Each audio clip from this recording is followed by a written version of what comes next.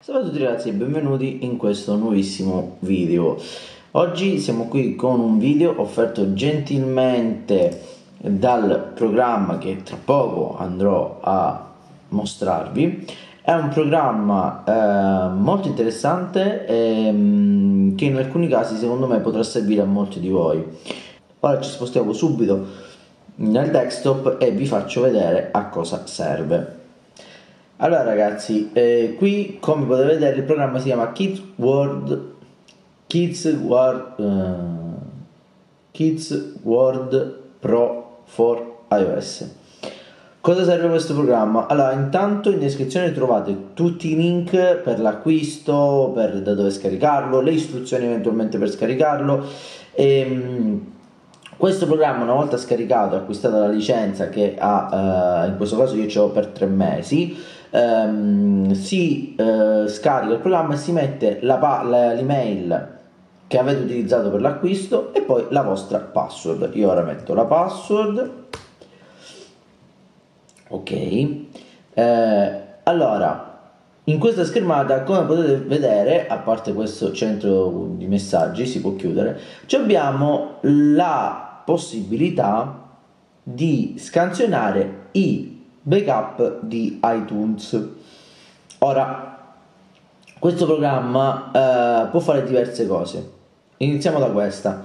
In primis, se noi abbiamo dei backup di un iPhone su iTunes, ehm, fatto su questo computer dove installare il programma, ci compariranno qui, ci comparirà l'iPhone che è stato utilizzato, di chi è, ehm, che è stato utilizzato appunto che ha fatto il backup. Noi eh, queste icone, diciamo, ehm, non chiare, ok? Sono come potete vedere eh, backup incompleti. Questo invece è un backup completo. Allora, se io vado ad aprire un backup completo, clicco qui, faccio next, ora ve lo faccio vedere, ma prima ve lo spiego.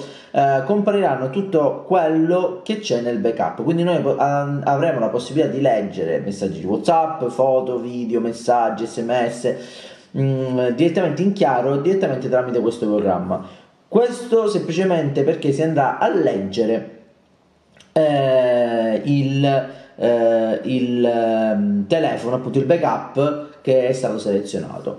Inoltre eh, qua si potrà anche collegare il vostro eh, nuovo smartphone, eh, fare un altro backup se qui non dovesse comprare la lizia e seguire poi le istruzioni per vedere effettivamente cosa si andrà poi a, a quale backup si andrà a fare e eh, cosa eh, c'è all'interno di quell'iPhone. Eh, si può anche importare un altro backup, per esempio noi abbiamo un backup da un'altra parte, clicchiamo appunto su import, si aprirà la schermata e noi possiamo importare il backup.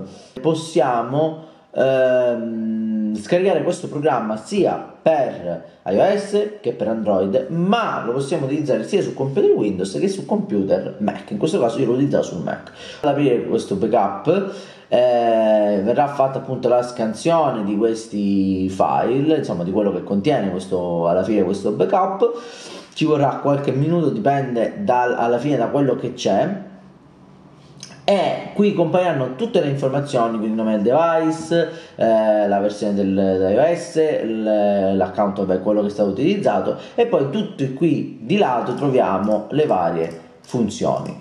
Ehm, noi come potete vedere possiamo vedere anche i messaggi di WeChat, altri social che eh, non si sono le note, i messaggi, le memo vocali, Safari, i contatti, le foto, i video in questo momento io non c'è niente perché in questo backup non c'è niente. Eh, però ecco, questo è quello che si può utilizzare eh, nel, a che cosa può servire questo programma. Perché vi consiglio di, poter, di utilizzare questo programma? Perché può tornare utile appunto se noi vogliamo reperire qualche informazione che abbiamo su un precedente backup ehm, e che abbiamo o cancellato dal telefono o, e quindi non vogliamo fare un ripristino o, oppure magari l'avevamo salvata prima e poi abbiamo cancellato il messaggio l'abbiamo salvata in precedente backup mm, il telefono eh, si è mm, abbiamo cambiato telefono si è rotto il telefono eh, non vogliamo ripristinare tutto il backup allora però vogliamo delle informazioni che c'erano nel precedente telefono possiamo fare tutto da qui. L'importante è fare un backup